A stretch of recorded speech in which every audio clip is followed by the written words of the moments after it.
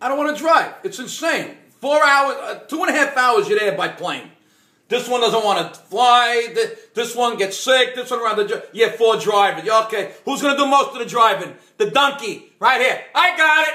I'll drive to Florida. I got it. Yeah, they're gonna help. They're gonna be yeah. Okay, all right. I got it. Yeah. Yeah, right through. We got to go right through. God forbid we, we stop over in, in, in North Carolina or South Carolina. No, got to go right through because it's too expensive for the hotel. Okay.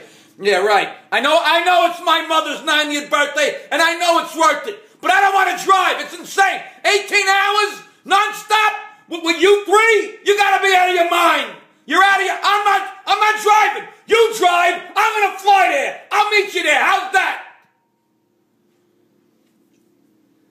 If only I had the balls to tell her that when she gets home.